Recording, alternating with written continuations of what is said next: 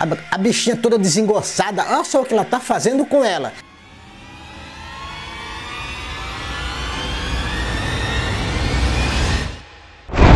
Oh não!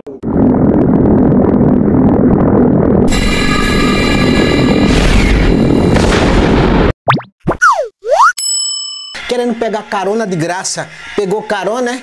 Pensa que ela não é boa na freagem? Isso não freia, é uma freagem. Pessoal, fala a verdade, né? Isso é Oh não! gado.